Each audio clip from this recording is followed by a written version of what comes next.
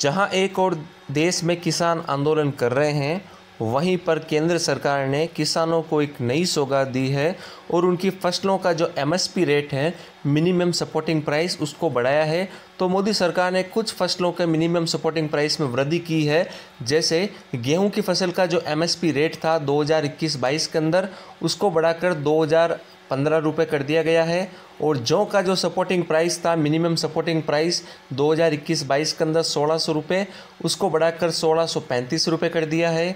और जो चना था, जिसका सपोर्टिंग प्राइस 2021-22 में इक्यावन सौ रुपये था, उसको बढ़ाकर बावन सौ तीस रुपये कर दिया है।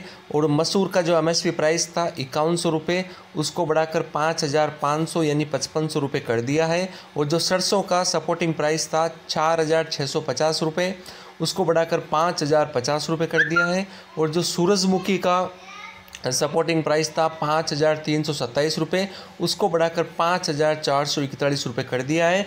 तो इस प्रकार मोदी सरकार ने कुछ फ़सलों का जो एमएसपी था, उसके अंदर बढ़ोतरी की है। हालाँकि ये जो वृद्धि हुई है ज़्यादा नहीं हुई है। कि किसी फ़सल में दो सौ रुपये की वृद्धि हुई है तो किसी फ़सल में तीन सौ रुपये की वृद्धि हुई है।